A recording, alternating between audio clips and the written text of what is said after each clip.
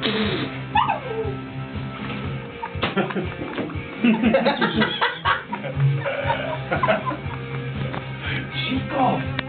Alex, das ist nicht wie das machst du. Was?